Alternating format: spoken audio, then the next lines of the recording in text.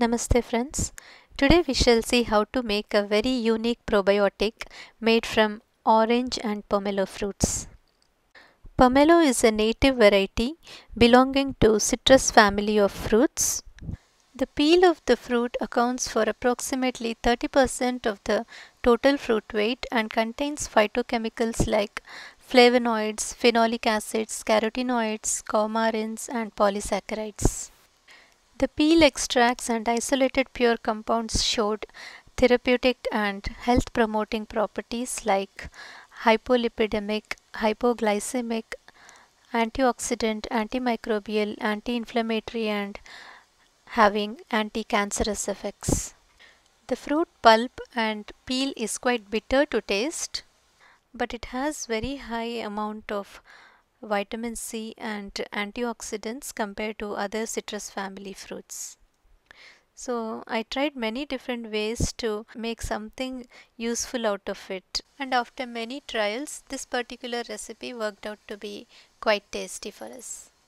There is an easy way to remove the peel of the fruit. Just make four cuts at the tip of the fruit and gently remove the peel it will easily come off. Fruit peel is very flexible as well. We are going to make use of these peels to cover the fruit pulp and pieces and make them remain under the brine. The ingredients required to make this probiotic are 1 part of pomelo and orange peels, half part of pomelo pulp, quarter part of orange pulp, 3.5% salt and 1500 ml of water. The process of making is very simple. As usual, just take sterilized glass jar and add all the ingredients that we have set.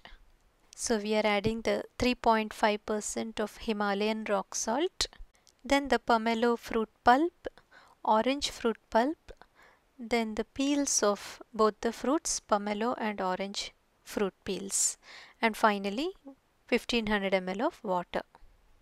Here I am using the big pieces of pomelo fruit peel to pack all the orange and pomelo fruit pulp and the peels inside the brine.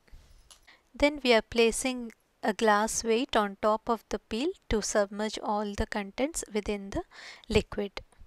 Then close the lid and leave it to ferment for 4 days. During the fermentation process, we would notice all the peels and pulp rising to the top and we also notice gases being released uh, with the indication of the bubbles inside. After 4 days of fermentation, gently open the lid, remove the glass weight and the product is ready to consume. We may consume 10 to 15 ml of the product half an hour before or after meals. You may dilute and consume if you feel it to be very strong. Just mix 10 to 15 ml of the product in 200 ml of water. The product is very tasty and we won't even sense any bitterness of the fruit. Shelf life of the product is more than a month. If you have any more questions, please join Uni5 Naturally Telegram group and all your questions will be answered. Thank you.